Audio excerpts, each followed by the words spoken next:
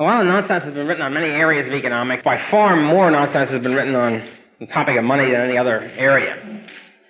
Every guy with a pen and ink and a typewriter and or a typewriter feels obliged to come out with a tract on money. Most of it pure junk.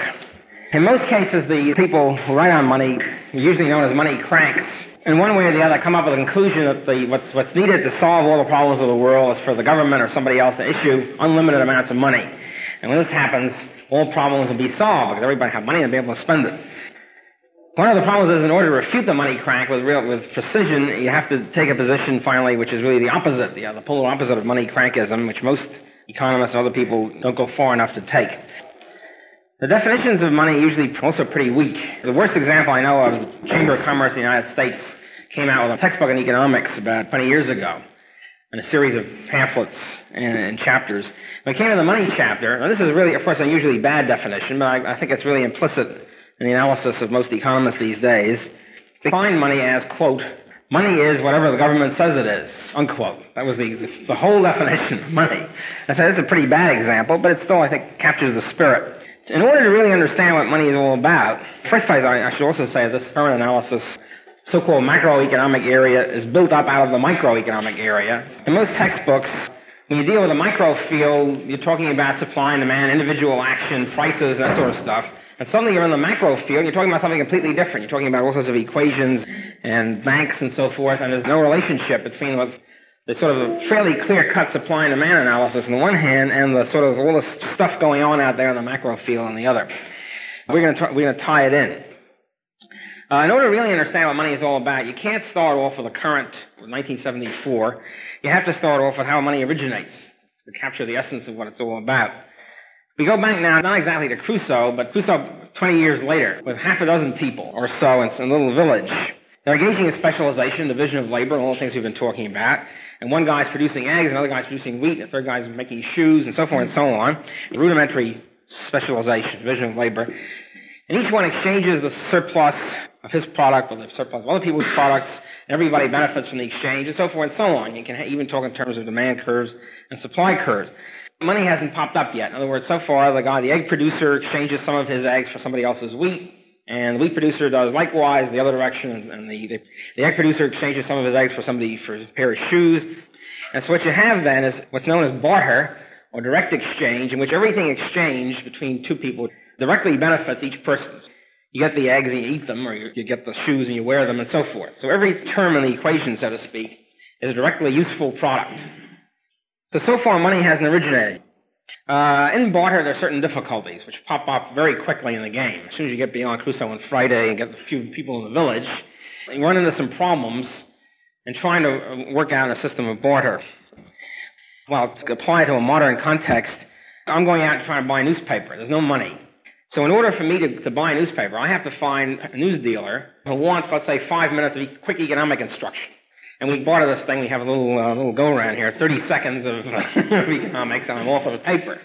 Now, obviously, it's going to be very, very difficult. I'm going to starve to death pretty quickly. I have to find a grocer who wants some economic instruction, and so on and so on. Even, even in the primitive village, supposing the shoemaker is allergic to eggs. He doesn't want any eggs. What's the egg dealer going to do if he wants a pair of shoes or if he wants his shoes repaired? He's in trouble right away.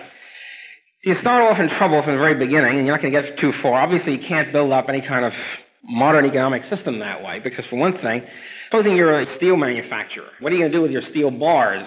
You have to go around and find, if you want to exchange it for food, you have to get a steel bar and try to find a grocer who like a steel bar. It's not too easy to contemplate either.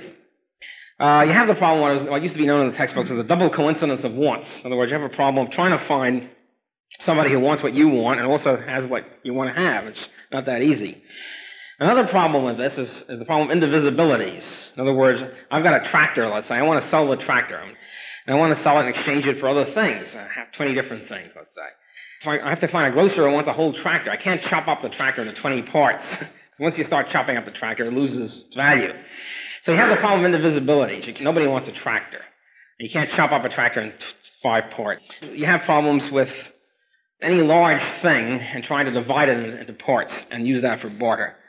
There's also another problem, which will be very severe in uh, world of barter. There's no way to really calculate if you're a business firm.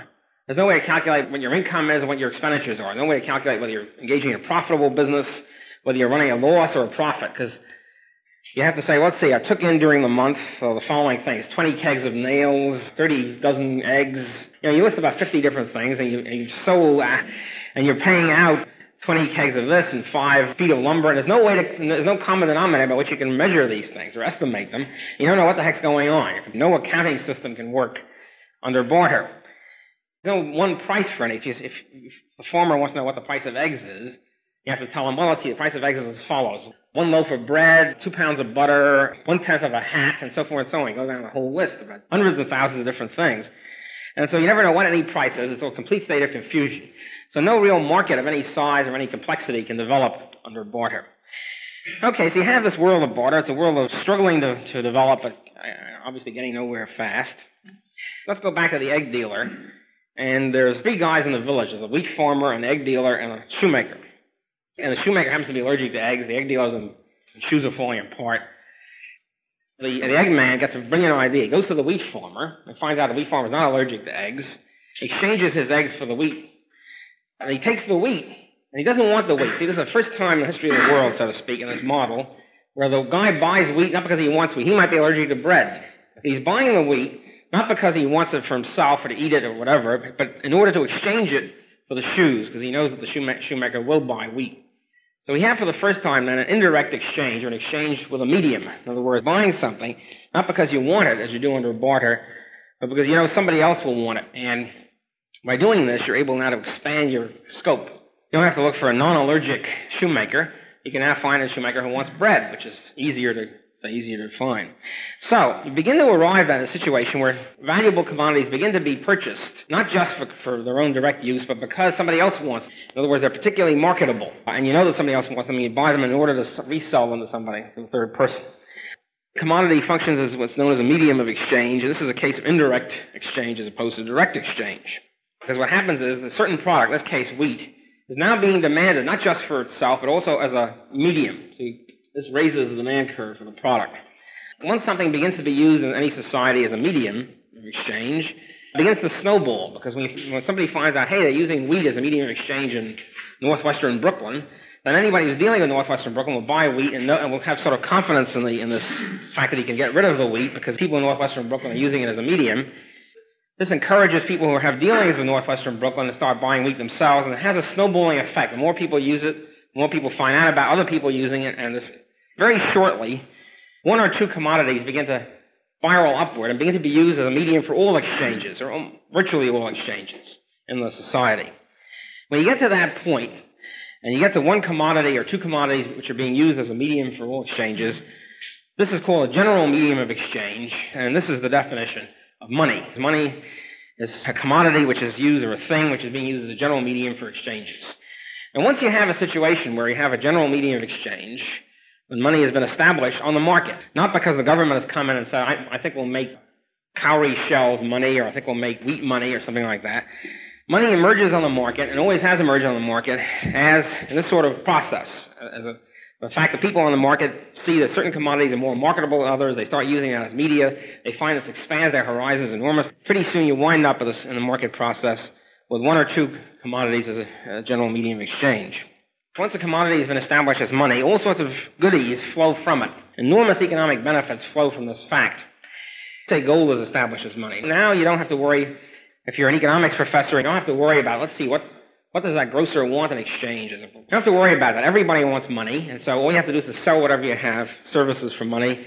Instead of having a double coincidence of wants, all you, have, all you need is one guy wanting one thing. All you need is somebody wanting eggs or somebody wanting economics education or whatever.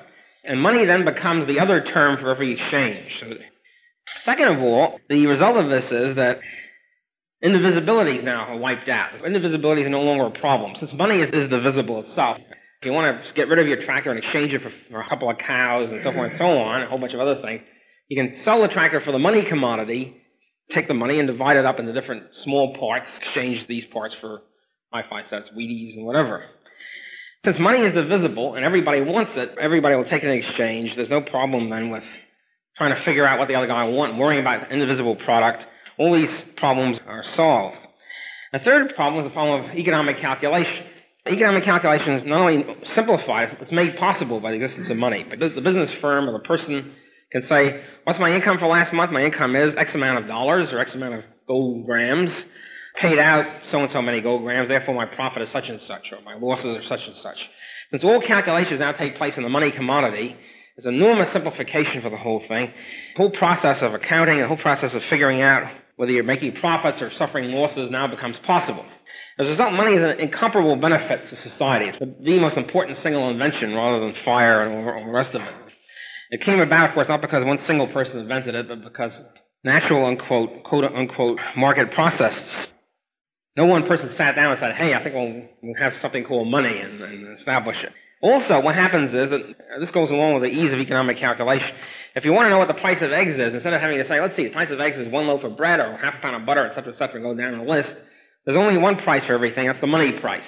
Whatever the, pri- the ruling price is in money. So the price of loaf of bread is whatever, 75 cents, and that's it. Okay, so we see these enormous advantages, and benefits from money. Then the question arises, what good will be established in the market as money? What will usually emerge on the market as money? Well, usually it's the best moneyable product, money-ish, I'm use that term, good. A whole bunch of different types of commodities have been used as monies uh, in the past. Salt, tobacco, uh, cattle. The southern colonies in America in the 17th centuries and 18th centuries, uh, tobacco was used as money. Tobacco was the major product, and business accounts were kept in terms of hogsheads of tobacco. A great, one of probably the most single anthologized article in economics is a very excellent article by an English economist who happened to be in a German prisoner of war camp in World War II. And he, after the war, he wrote an article called Economics of a Prisoner of War Camp. And he shows what happened there. Of course, it's a large community. The only supplies coming in were essentially care packages and things like that. What happens is that money begins to emerge. A money begins to emerge. Obviously, there's no cash in that sort of system. And the money that emerged in the, in the POW camps were cigarettes. And you began to have a situation where everything was priced in terms of cigarettes. A market developed. British officer would post on the board periodically what the price of, you know, can of anchovies, three packs, can of so-and-so, one pack, etc., etc. So everything would have its price.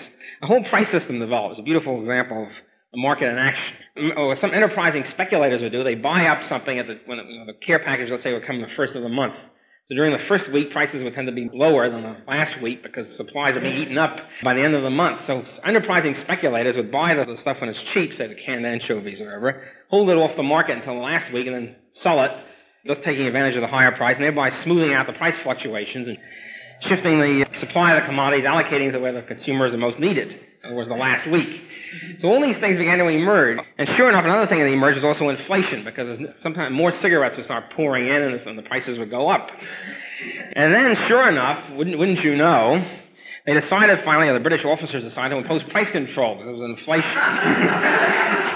the POW camps, they imposed price control and they immediately there was shortages developed. Where's the cigarettes? Can't find any. Uh, can't find the other commodities. And there was a black market developed with hot anchovies and all that.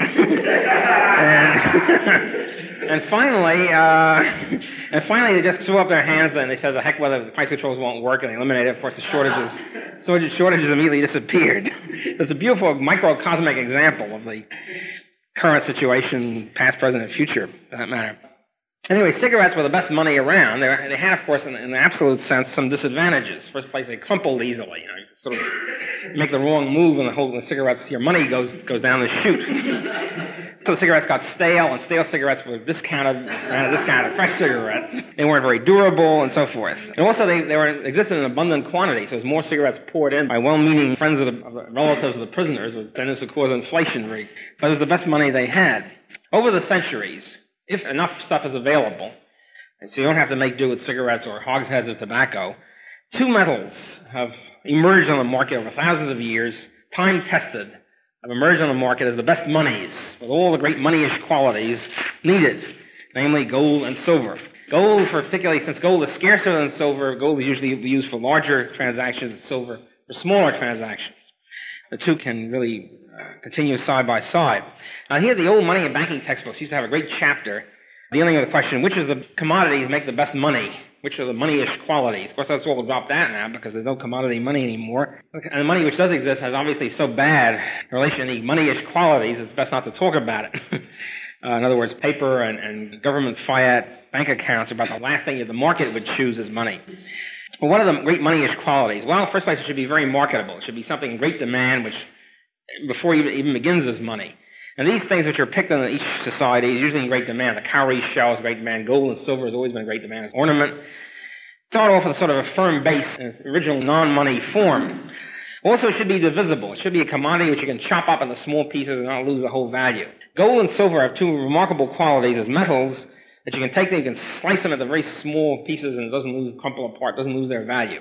They're highly divisible. Also, there should be a high value per unit quantity. Cigarettes is unfortunately a low value per unit quantity. Each cigarette doesn't, isn't worth much. So what you need is something that has a high value per unit quantity, which will therefore also be portable easily, so you don't have to lug it around. You have to lug cattle around. Cattle have been used as money in, in African tribes. For an urban society, it's sort of a pain in the neck to, to drive cattle around if you want to buy something. so it should have a high value per unit quantity. It should be also durable. It should be able to sock it away a, under a mattress or something and pull it out 50 years later. So it should be very durable, which gold and silver are. Gold and silver also are divisible and have a high value per unit quantity. Also, it should be something that's easily recognizable and difficult to counterfeit. Gold is also that way. The average person can easily tell, at least used to tell in the old gold days, be able to tell quite quickly whether it's really gold or not. You spite it and you you ring it on the table, etc. Drop it quickly. So, for all these reasons, gold and silver emerge from very early in the game as the best monies. Also, as we'll see later, one of the great qualities of gold and silver as the best monies, it's not, it has to be dug out of the ground. It's not subject to government turning on the printing presses. The market chooses gold and silver for these reasons. Free market economists tend to choose it for those, plus the fact that you can get them outside of government, you can be supplied outside of government fiat as an extra reason. And th- those are really the reasons why gold standard types are favored the gold standard, and not because they love to sit there and run their hands through gold coin. Not only is this the model of the way money has originated as a free market money, Ludwig von Mises showed 60 years ago now that this is the only way that money can originate. Money cannot originate either by a social contract, everybody getting around in one big assembly and saying, hey, I think we need some money, and somebody saying, okay, let's use uh, dingbats or whatever, cannot originate by government fiat where the king says, we will now make the shell, we're going to make that money. Can't work that way. This has been shown by Mises' so-called regression theorem, which solves a lot of very important theoretical problems that the uh, Austrian school and marginal utility school faced uh, at the turn of the century. Basically, the problem was this. You can see why the demand for, every, for anything, demand for eggs, demand for hula hoops or whatever, would be determined by the marginal utility that the consumers have for these things in their value scales. The marginal utility of hula hoops determines the demand for hula hoops, etc. The point about money is the peculiar thing about money, you're using money in exchange, you're buying money, so to speak. You're selling your goods and services for money, not because you want to use it directly, but because you want to exchange it for something else. So therefore, the demand for money itself, the very fact that you're, you're demanding money in your value scale, in other words, you have a marginal utility for money, which has not been applied to monetary theory since either before Mises or since. The reason why you have a marginal utility for money is, because, precisely because you have pre-existing prices in terms of money. Money has a pre-existing purchasing power. You have the problem with supposedly circular reasoning here. In other words, the problem for explaining the price of money, demand for money in terms of its marginal utility, is that you can see you can have a marginal utility for eggs because you like to eat it, but you're not presuming a previous price. But when it comes to money, the very fact that you have a marginal utility for it presumes or assumes a preceding price for it, preceding price level, in quotes. So how do you get out of this, uh, what used to be called the Austrian circle? Well, Mises is the one who solved this by saying as follows. Yes, it's true, there's a time element in the demand for money, which doesn't exist in the demand for other things. Say the marginal utility of money in day X is in some way a function of or dependent on the price level or the purchasing power of, the, of money in the day X minus 1, previous day. However, he said, if you push this back, you keep pushing this back logically in time, you'll finally arrive at the first day, the day when gold was first used as money, uh, in a logical sense. Previously had been only in barter. And you go back beyond that, the last day when gold was only used as barter, then you have a situation where gold is demanded only for its own sake, only for its ornament, whatever. And the marginal utility of gold at that point have no time component at all. So the demand for gold the day before it's used as money is purely the consequence of the marginal utility of gold on that day. And afterwards, when you start using it as a, as a medium of exchange, then there's this time component in it. Then you say, well, it's dependent on the fact that you have a previous price for it. Which means that no money can ever originate unless it originally was uh, non-monetary, non-monetary use. In other words, you have to have a starting point where it was used, where it was valuable and had a price on the market which was a non-monetary price. Ergo, all monies have to emerge as originally a useful commodity, a non-monetary commodity, like gold or silver. Sure, the, you know, you can kick gold and silver out, the thing can still function as money afterward. Keep on indefinitely on momentum. But if, as far as originating money, you have to begin with a non-monetary useful commodity. Okay, we have gold and silver established. We say it has to be established on the market. What's the currency unit? What, what unit do you keep the account in you're talking about income and expenditure? Well, metals are always exchanged in terms of weight, units of weight. You're talking about tons of iron or uh, pounds of copper or whatever. Therefore, the monetary unit will be a unit of weight of gold or silver. Let's say if you take gold as the money, uh, in that case, the gold gram or the gold ounce will be the monetary unit.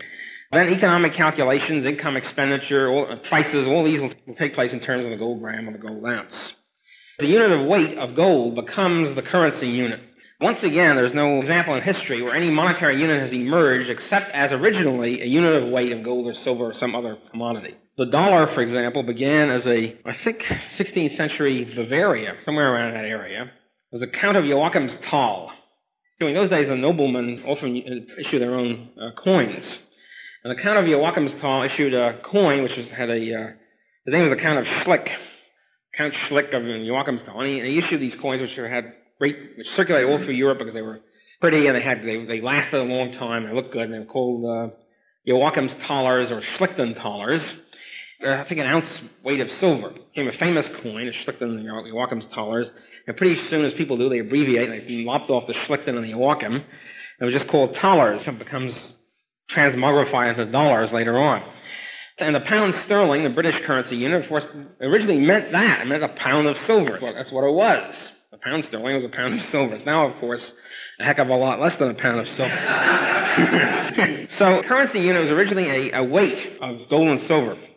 One of the first pieces of evil which was injected into the monetary system was beginning to use names instead of weights, sort of a special name. Once that happened, that was the beginning of the end. The first step on the slippery slope down a current to accelerated runaway inflation was the, the first time the, the king, instead of talking about gold ounce, why don't you talk about the, if the king's name is Edward, why don't you talk about the Edward? It's classier than talking about the gold ounce, right? You define the Edward as being one gold ounce, you have an Edward coin instead of a gold ounce coin, then you begin the slippage into perdition. During the late 19th century, when most nations were on the gold standard, there were several international monetary conferences. These are not like the current international monetary conference where people sit around trying to figure out how to plate more and how to shaft the public. Those are real international monetary conferences. The idea was, why can't we take all these names that have popped up, all of which were defined in terms of units of weight of gold, and why don't we put them on one scale first? Most of them were sort of multiples of each other. The pound sterling was almost five dollars. It was a little bit less. Why don't we make it five dollars? Change it a little bit, and then we can proceed on. The next step after making each one a multiple of the other to abolish the dollar and the pound altogether, just make them weights of gold. And we'll have one world gold unit. And that was the uh, objective of most of these guys in the late 19th century. They were all laissez-faire liberals, and they were all hard money types. But they founded on the whole silver question, very esoteric. But the point is the relationship between gold and silver and whether it should be fixed or not, founded on that, on these questions. By the time that, that got straightened out, the world was off the gold standard altogether. It was, it was the end of that. So the first step was naming the thing a name instead of a, instead of a weight. The dollar later became, when the United States was founded, the dollar was defined as one, approximately 120th of a gold ounce. It was also fixed in terms of silver, which is unfortunate. It's now approximately 142nd of a gold ounce. But even now, it's the official definition of a dollar is 142nd of a gold ounce. That's what a dollar is. A dollar is not just a dollar, not just a piece of paper printed by the government. It's supposed to be, at least officially, it's supposed to be 142nd of a gold ounce. How did this change? Very early in the game, the government, the kings and so forth, established themselves as the guardian of the nation's weights and measures. Of course, the big thing, you have to have a government to make sure that a yard is always a yard, and you have the metric yard or whatever it is somewhere, some under glass. That's the yard. All other things are supposed to be replicas, pale reflections of this, of the pure form of the yard. And you have the pound sitting there somewhere. I mean, and the government is supposed to be the august guardian of this, and you always make sure that you never, never change and juggle these standards, otherwise the whole economic system would be irrevocably messed up. As part of this guardianship of weights and measures is also guarding the weight, gold, and silver. First, the first place is to nobody's real interest, really, to juggle the yards and feet. The government issued a decree saying, okay, from now on, a yard is no longer three feet, it's two and a half feet. A foot is no longer 12 inches, it's now 11. It's obviously pretty absurd. You have to be pretty kooky, even for the government, to do something like that. So nobody's real advantage to do this. You have the fixed foot and the fixed yard, and it's there forevermore, and the meter and so forth. But, in the case of money, you don't have this question. In the case of money, you have the economic vested interest of the compulsory monopoly guardian of the purity of the money to start juggling with the definition. First, the government started by establishing a compulsory monopoly of the mint mint function. Usually, gold, for example, exchanged by weight. You have a pound of gold, an ounce of gold, etc. But then after a while, we discovered that certain forms, certain shapes of gold are inconvenient. For example, gold dust. There used to be back in the old California gold strike days, people walked around with gold dust. You remember the, the Western movies? Where the old prospector comes in with a bag of gold dust and plumps it down, exchanges it for the general store, and they weigh it. And you can do that, but it's kind of inconvenient. First of all, the gold dust begins to evaporate. You know, walk around in a cloud of gold dust, and your money is disappearing very rapidly. So you want to have a sort of a hard form. Over the centuries, the two most convenient forms are bullion or bars and coins. The coins for smaller transactions. When you transform a bullion into a coin, it's a certain amount of cost involved in it. Usually the coin will then be at a premium in relation to the bullion. And the king saw a good thing here. The, the kings very early uh, established the, the, the view that a compulsory monopoly of the mint was essential to the sovereignty of the king. That if you don't do this, and the king and the state is no longer sovereign, and somehow the state is weakened irrevocably by this by giving up the mint monopoly. By this philosophy of sovereignty, they established the view that only the government should be able to mint coins. By doing this, of course, they not only giving a profitable business in the hands of the government, it's even more than that. It means you can keep out anybody else from getting in there, and therefore you can proceed on debasing the coins and juggling the standards, and nobody can do anything about it. The debasement comes in very early, the first form of inflation, early forms of inflation, before these marvelous inventions of paper money and bank credit, pre 1700, let's say, of inflation, were debasement of the coin. Usually works something like this. A new king is crowned, and he looks around and he says, Hey, there's a lot of coins here which are my father's picture on it. We really need your coins with my picture on it. Besides, the old coins are getting dirty and they're kind of shabby, they're getting a little worn. Why don't you all come down to the Royal Mint and we'll, for a nominal fee, we'll, uh, we'll exchange it for you. We'll give you nice new shiny coins. So everybody troops in and usually make it compulsory to hasten the process. So you have um, the Edward. Let's say the Edward is defined as a unit of weight of two ounces of gold. Come in with your two ounce coin. You get the two Edwards back. Have your two Edwards. It's terrific. You're not really losing anything at all. Except there's one slight hitch here. Instead of the Edward being two ounces apiece, the Edward is now an ounce and a half. It's been redefined. In other words, the unit of weight has been lowered. You're getting a much lighter weight coin back. If you have a two ounce coin, you, you redefine the Edward as one and a half ounce. What happens to the other half ounce? Well, obviously you know what happens to the other half ounce. The king keeps it. Takes all these half ounces of gold and mints his own coins and spends it. Spends it on. He spends it. The public is in great shape. They've got the same number of Edwards back. The king is in even better shape. He, he has Edwards that he didn't have before at all. As we'll see, what happens as a result of all this is you have inflation. Uh, more Edwards are on the market in relation to whatever goods and services are available. The price of everything else goes up. So that was the earliest, the classic form of inflation. Before paper money was invented, before bank credit was invented, it was coin clipping or debasement. Obviously, when private people clip coins, is very bad. The maximum punishment of the law descended upon their head, because that means you're, you're taking the guy's coin, you're taking the guy's two ounces, you're shaving off a tenth of an ounce or something, and then you collect the shavings together and you make your own coin. It's obviously immoral and evil. But when the government does it, it's part of essential part of attribute of sovereignty and therefore good uh, getting back from coin clipping, we'll get back to coin clipping, of course. We, have, we now have the gold ounce, let's say, established as the currency unit, and all coins are in terms of gold ounces or gold grams. This means that every coin is, or every currency unit is automatically fixed in relation to every other one. We have a big controversy now among economists about fixed exchange rates versus fluctuating exchange rates. The point is, there's no such thing as fluctuating exchange rate because there ain't no exchange rate. Now, let me put it this way. If you're exchanging a pound of something for a certain number of ounces of the same thing. You'll naturally exchange one pound of it for 16 ounces of it, because that's what a pound is, a pound of 16 ounces. Then if you have one coin, let's say if Boston is putting out Adams coins, which are weighed two ounces, and Texas are putting out Houstons, which weigh one ounce, then two Houstons will always exchange for one Adams because it's two to one. That's what the ounces are. So the, the so-called exchange rate is simply fixed by the weight of the coin. There's no need for anybody to fix it. It will automatically be this two for one. Those economists who claim that a fixed exchange rate is somehow coercive or somehow statist misconceive the whole point. The whole point is that it's not coercive to have you know, the fact that the two things are always going to exchange for 16 pounds, ounces for one pound. If, for example, there are two monies in the world, if some countries are in gold and some countries are in silver and some are a mixture of both, which can easily happen, then gold and silver will be the fluctuating exchange rates. In other words, the value of gold in relation to silver will keep fluctuating. In relation to supply and demand, we'll get to that some other time. But the only real fluctuation in a, in a truly free market situation is only one fluctuating exchange rate, and that's between gold and silver. Everything else, within gold or within silver, exchange rates are automatically fixed by the respective weight of the currency units. Now, of course, if each person in the world put out his own money, for example, obviously it's not going to be money. If I issue five Rothbards, period. I just I issue tickets saying five Rothbards, and everybody here issues also their own tickets, their own name on it. There'll be fluctuating exchange rates, I guess, between each one of them. Five Rothbards might exchange for one somebody else's around here. But of course, the point is nobody's gonna, nobody's to take any of this stuff. It's going to be scrap paper very quickly. it was not an inherently useful commodity to begin with.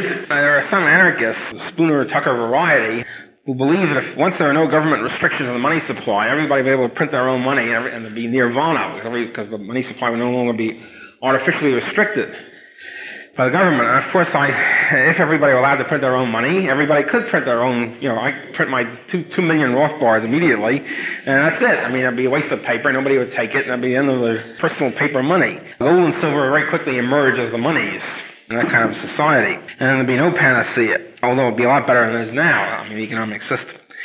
This is what has been called, uh, by the way, parallel standards. When you have a situation where you have gold and silver both functioning as independent monies without a fixed rate without a government fixed rate between them. And it has happened all during the Middle Ages and late in the early modern period. Gold and silver would fluctuate. And so, for example, in, in the Italian city-states, in Florence and Venice, etc., they'd just be every day. It'd be just be different fluctuations. The merchants would have a table, a weekly book or something, to show what the gold-silver rate is that week. There'd be a free market in gold-silver relationship. Okay, so you have this, this gold, uh, or let's say, is established on the market as the money.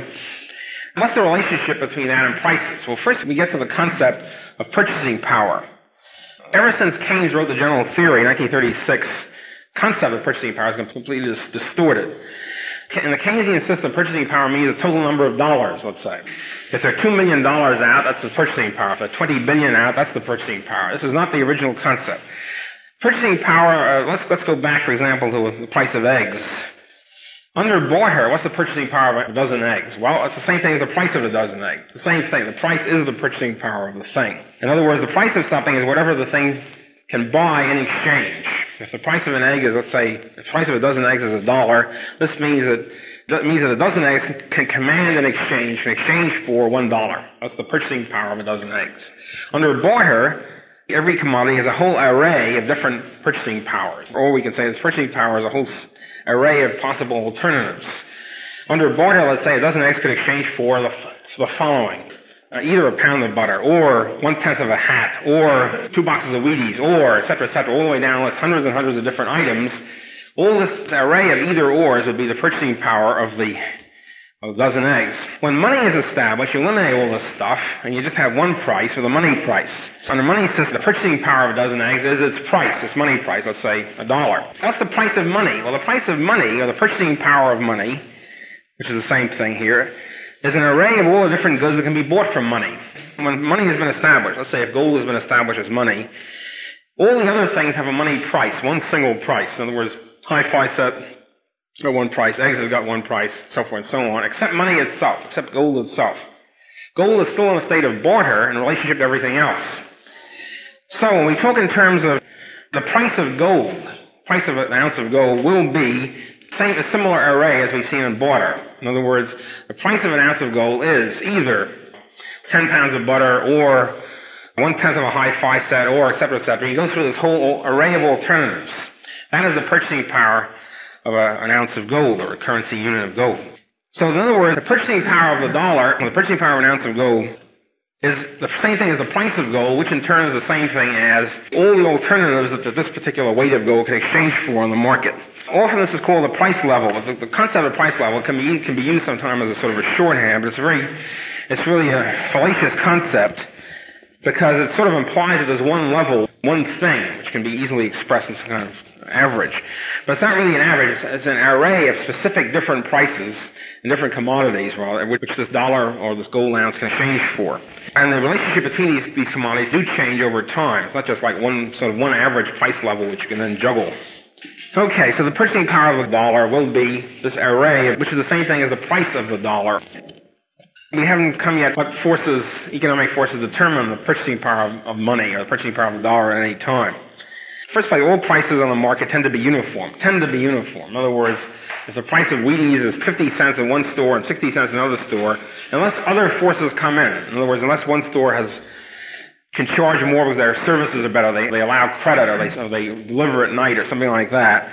Barring all that, the prices of each product will tend to be the same because the price of Wheaties is 50 cents in one store and 60 cents next door. Very few people will buy the 60 cent Wheaties.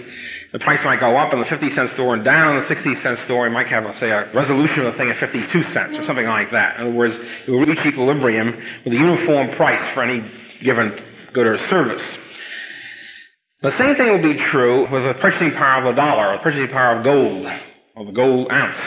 The purchasing power of the gold ounce will tend to be the same throughout its trading area. If the world is its trading area, then the purchasing power of the gold ounce will tend to be the same throughout the world. There'll be a tendency toward a uniform, what's usually called price levels. Even more so than in case of specific products, because specific products are usually produced at one place and then transported somewhere and then consumed the other place. For example, the price of wheat in Kansas will not be the same as the price of wheat in New York because you have to cover the, you know, you have to transport the wheat from Kansas to New York. The price of wheat in New York will tend to equal the price of wheat in Kansas plus the transportation cost to carry the wheat from Kansas to New York. In the case of money, however, the transportation cost really doesn't enter into the picture because once the gold is produced and circulating throughout the world, it, since it's durable, it sort of zips around, so to speak, and there's no longer, the problem of transportation cost is not really in question. So, the price levels then will tend to be the same, or the purchasing power of the gold ounce will tend to be the same throughout the world, throughout the trading area. Why? Because, well, it's fairly simple. If, for example, the purchasing power of gold, let's say, is higher in France than it is in England, then gold will tend to be shipped from England to France, which will tend to lower purchasing powers in, in the two countries. In terms of price levels, if the price level in terms of gold is higher in uh, France than it is in England, then people start start spending money in England, like take their gold and going to England for it, buy stuff in England and not in France. This will tend to lower French prices, raise English prices, until the, the price levels or the arrays of prices are, are equilibrated. So the purchasing power of the gold tends to flow, like everything else where you can make most money at it, or most income at it. Gold will tend to flow from those areas where it has the lowest purchasing power to the areas where it has the highest purchasing power, and this will tend to equilibrate what determines the purchasing power of gold? It's essentially the supply of money and demand for money. In other words, we're going to apply the same analysis, really, to uh, the price of money, or the price of the gold ounce, as we do to the price of anything else. And here, this is the difference between the ordinary macroeconomics, where suddenly you're thrown in a peculiar world, we're talking about velocities and all that stuff, and supply and demand drops out of the picture altogether. Supply and demand really is still in the picture. First, let's talk about the supply of money. Before we even get to the very complex stuff about it, such as banking and things like that, which we'll get to later on, what is the supply of money exactly? Let's assume that money is just gold coins and gold bullion. First place, the supply curve of money, if we put the supply curve on the board, it's best to think of not as this forward sloping one, but as the vertical one. Stock of money at any given moment or any given time. First place, money is very durable. Gold is very durable. The annual production of gold is small in relation to the stock which has been accumulated for hundreds and hundreds of years. There's no real division of labor in gold as there is in everything else. You don't have somebody producing the, uh, the raw material and somebody else producing the steel and somebody producing the car, etc. You have everybody owning money and then shifting it around. So it's best to think of supply of money as a vertical line, and demand for money as a demand to hold it demand to buy it and hold it. The first thing to look at about the supply of money is that everybody at any given time owns owns some money. In other words, there's no such there's no supply of money which isn't owned by somebody. There's no money floating around in the empyrean somewhere. All money is in somebody's cash balance. This, this brings us to the concept of cash balance. A cash balance is the amount of money, stock of money that any given person has at any given moment. You can have some money in your wallet, and you have some on your mattress, and some on the safe deposit box, some under the floorboards. In the individual supply of money. Each individual then has his own stock of money, which we can call small m, depict by small m. The total supply of money in the society will be the aggregate of all the individual stocks of money, individual supplies, which would be big M. Big M is the usual symbol for the quantity of money or supply of money. Will simply be the sum of the, all the small m's. This ties in immediately the, the macro money analysis. We talk about supply of money. It's simply the sum of all the little micro monies that everybody's got, all the little cash balances that each individual has. Now, when you get to money again, instead of talking about supply and demand, You usually read about circulation or the velocity of circulation. The concept of velocity of circulation, you sort of think of some ball that's zipping around a roulette table or something on a roulette wheel or something like that, as if it's a thing that's circulating by itself, as if it's some sort of mechanical thing out there, which is somehow engaged in circulation. It's not the way it is. Money is always sitting somewhere. In other words, it's always in somebody's cash balance. What happens during exchange, any exchange that takes place, using money as one of the terms of the exchange is simply that you're transferring part of your cash balance to somebody else's cash balance and getting something else in exchange for it. So the money is circulated, or rather, cash balances are transferred from one person to another. But aside from that little, that individual point of transfer, the money is resting in somebody's cash balance. So, for example, if I buy a newspaper for 15 cents, my ownership of the cash 15 cents, my cash balance, at that point is drawn down by 15 cents, the news dealer's cash balance is increased by 15 cents. We have at that moment of transfer, we've shifted ownership of a certain part of my cash balance. We have this whole cash balance approach then. We're dealing with the money supply and with the determination of the, of the so-called price level, of the purchasing power. And then we have uh, demand for cash balances. Why should anybody demand a cash balance? Well, first of all, well, he has to get money in order to buy it, in order to use it for something else, in order to spend it. So the usual process is you produce a good or a service, you sell it, you get money, you get a cash balance, you hold on to it for a short while or a long while or whatever, you spend some of it on other goods.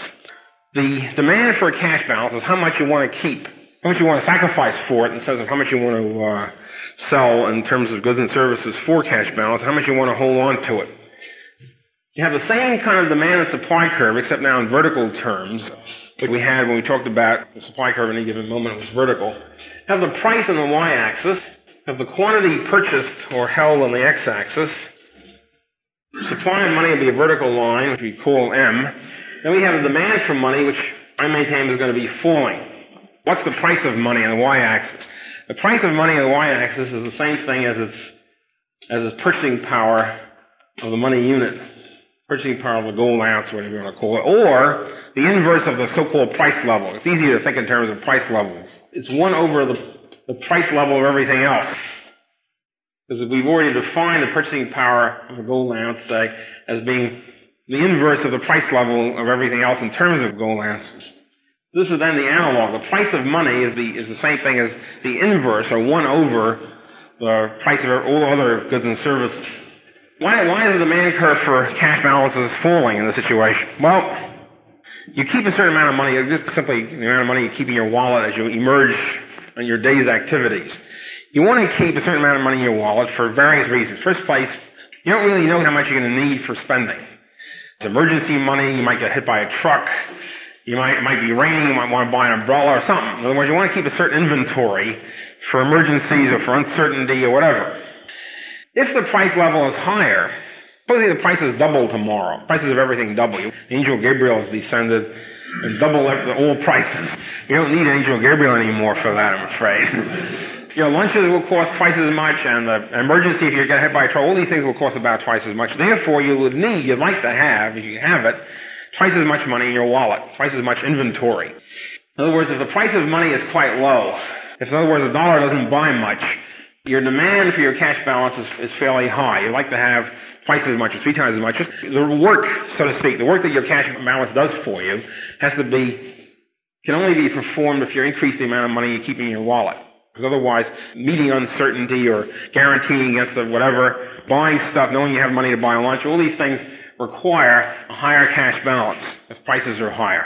Conversely, if prices were low, if the angel Gabriel finally did something good once for a change and cut all prices in half by magic, then you could do the same amount of work that your cash balance does for you now can be accomplished with half the amount of money in your wallet as you had before. So in other words, if the price of money were higher, or prices in general were lower, i.e., then you would need much less in your cash balance. You link these two or more points together, and what you get is a falling demand curve for cash balances. In other words, there's an inverse relationship between the quantity demanded to keeping your cash balance and price of money. Okay, now we have the demand for money which is falling. We have a vertical supply line of money, and I will now contend that the price of money is determined by the intersection point at any time The day-to-day equilibrium will be the intersection point of the demand for money, the demand for cash balances, and the supply of cash balances. At the intersection will determine what the price of money tends to be at any given moment, what the price level, in other words, tends to be. See, the analogy is perfect between this and the price and, and demand and supply and price for individual products. Supposing we're up here, supposing the price of money is higher than equilibrium. It's up here. In other words, the price level is lower. At this low price level, we have a situation where the existing supply of money, remains the same, for you can't change the supply of money. That's, that's given at any time. It's there. It's the amount of gold are, are hanging around. At that low price level, people don't want the money in their cash balance. Prices are low, and let's say there's $2 billion worth of gold around. People only need 1.8 billion in their cash balances. The rest of it, spend the other 200 million. As they spend the other 200 million, the demand curve goes up, price goes up, the price level is so low that the gold and silver that you've got, let's say the gold you've got, is burning a hole in your pocket. You're going to spend it. The point is, you see, you're trying to get rid of your of money in a sense. You're trying to get rid of your cash balance. In the aggregate, you can't get rid of cash balances. You're stuck like a hump, so to speak, hump in your back. The society as a whole is stuck with the existing cash balances. The total supply of money remains fixed, unless you take the gold and throw it in the river, which I don't think anybody's going to do. So what happens is, as you're desperately trying to get rid of your cash balances, in the aggregate, you can't do it. But what happens is, since prices rise, prices of goods and services rise as you spend money faster, you get draw down your cash balances, the demand curve goes up. As this happens, as the price level increases, the gap disappears. Gold no longer burns a hole in their pocket because prices are now high enough so it doesn't. It just meets their, the aggregate desire to hold cash balances. Conversely, looking at it the other way, if the price level, price of money is too low, if, in other words, the price level is higher than equilibrium, then you have this kind of situation. You still have the $2 billion worth of gold, but now prices are so darn high that you want more cash balance than you've got. Rather than burning a hole in your pocket, you haven't got enough money. This is a shortage of cash balances. If everybody feels a shortage of money, not in the sense of, of course, everybody wants more income, but in the sense of you want more cash balances than you have available, uh, because prices are so high, people try to get, desperately get more cash balances. How do they do it? The amount of the cash balance is fixed in the aggregate. the amount of gold can't be increased magically or anything. You're given the same amount of gold. What you're trying to do is you, you spend less money on goods and services, you hold on to more of your income and keep it in your cash balance in order to increase your cash balances. As people restrict their spending, prices fall, and as prices fall, the shortage of cash balances no longer appears. By this action, the public is able to lower prices until they don't want any more cash balance. So in other words, if the price of money is higher than equilibrium, if in other words, the price level is lower than equilibrium level, the gold will be burning a hole in people's pockets and they'll spend it, and as they spend it, they're trying to get rid of cash balance. They can't get rid of it in the aggregate. What happens is this action raises prices until they're satisfied with what they've got. Similarly, or conversely, if the price level is higher than equilibrium, They'll hold on to more of their money to try to increase their cash balances. And the result is prices will fall until they've satisfied what they've got. There's a, tradition in economics theory to, to sneer and deprecate people want to increase their cash balances, so-called hoarders. Hoarding is when somebody else than yourself wants to increase the supply of cash. It's supposed to be a terrible, evil thing and causes depressions and all sorts of other nonsense. Actually, all it's doing is if people are holding on to more of their cash balances, the demand for money increases, then since the supply of money has remained the same, you can't do anything about that, then what's simply going to happen is that the price level will fall until people are happier. In other words, in real terms, in quotes, correcting for price changes, you're increasing the real cash balance.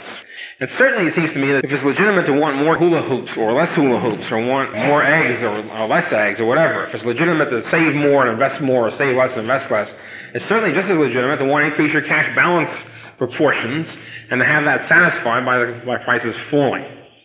People, for one, one reason or another, want more cash balance than they've got. This will be satisfied by this cash balance will go up and uh, prices will fall. Price of money will go up. This will satisfy their desire for increased cash balances.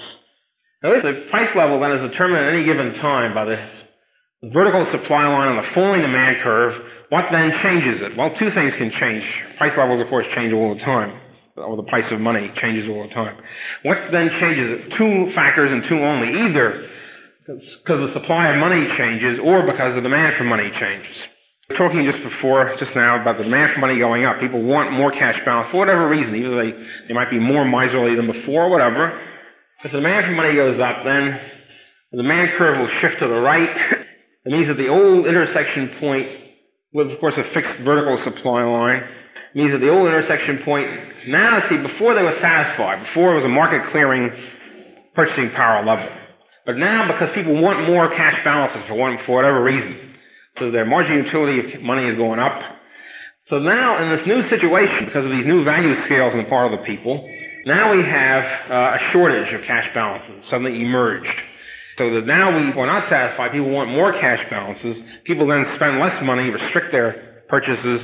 As they do that, the price of everything falls, and as the price falls, we reach to the new equilibrium point, the new market clearing point, which is now higher because the demand curve for money has gone up. Uh, and at a new higher equilibrium point, it means that the price of money is now higher, prices in general are lower, and people now have achieved their desire to have higher proportion of cash balances by the fact that prices have fallen because of their action. Conversely, if people's demand for cash balances falls for whatever reason, demand curve of cash, for cash balances falls, and then the exact opposite happens. This means that the old equilibrium point, we now have, all of a sudden, the, the gold is burning a hole in their pocket, start getting, try to get rid of it, we wind up again at the, a new equilibrium point where there's no longer money burning a hole in anybody's pocket. The proportion of cash balances to everything else has fallen. So now we have a situation where we have the same aggregate supply of money, but it's doing less money work, you know, less cash balance work, because prices in general have gone up, and so people have achieved their goal of arriving at a lower proportion of cash balances. See how it changes demand for money.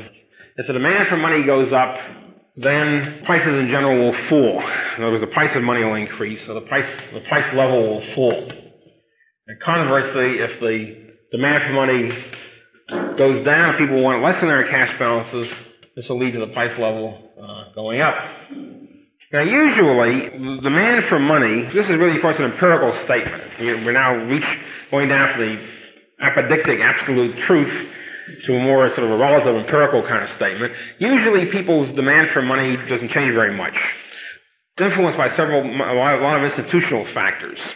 For example, it's influenced by the frequency at which people get paid. Uh, just something, a simple thing like that can very strongly affect the desire, how much you, you want to hold in your cash balances. Supposing two people have the same income, say they have an income of $12,000 a year. A and B both have an income of 12000 well, the difference is that A is paid once a month. So A gets a check of 1000 the first of each month, say. And B, however, gets paid twice a year. I used to be in that position way back. I was a position getting paid twice a year. I was working for a foundation, getting a foundation grant. And believe you me, it was pretty rough because even though my total pay, the total annual pay was comparable with other people's, but if you're not a precise allocator of your expenditures, you spend the, the, last month of every half sort of in perpetual hock, kiting checks and whatever until the, until the bonanza comes in on July the 1st. So supposing this Mr. B gets paid twice a year. So he gets 6000 uh, January 1st and another 6000 July 1st. Okay, their total income is the same. If you simply look at the income over the years, $12,000. However, let's look at their different average cash balance. Let's assume that neither of these two guys save any. Let's assume also each one spends at a smoothly uniform rate, you know, a certain amount, proportional, fractional amount per day, which of course is unrealistic, and it gives the, it gives the idea here. A starts off the first of the month with $1,000. By the end of the month, he's got zero, just ready to expire before he gets his new $1,000 check. His cash balance on January the 1st will be 1000 bucks. His cash balance at the last day of the month will be zero. So therefore, his average cash balance for the month will be $500. And the same way with the rest of the month, each month, look at over the yearly period, he's also got a $500 cash balance. So the average cash balance of Mr. B gets paid once a month is $500. This is the average amount that he keeps in his wallet or whatever. On the other hand, look at poor B here. He's got, he starts off with $6,000 in his bank account. He winds up with zero. And so for each half year, he's got an average cash balance of 3,000 bucks. So he's got an average cash balance for the year of 3,000 bucks. Poor B is really in bad shape because he has to keep, he has to keep an average cash balance of six times the amount of Mr. A.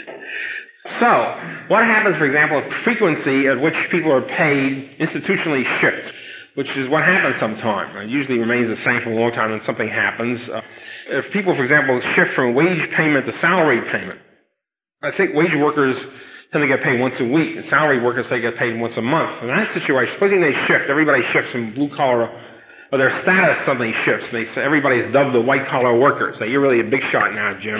You're really a white collar type. And to honor the change in status, instead of paying you once a week, we'll now pay you once a month. Uh, in that situation, his demand for cash balances goes way up. He's got to keep a lot more. And so if there's a general shift from weekly payment to monthly payment, the demand curve for cash balances will go up. I guess it would be a good way of looking at inflation in a way. Price level will then tend to fall. Pay people uh, less often. in other words, you pay people the same amount. If you pay them less often, everybody has to keep a higher cash balance. So there are things of that sort. There are institutional matters of that sort. Plus there are value scales. But it turns out that, again, empirically, one of the big reasons for shifts in demand for money is what's going to happen to the price level of money.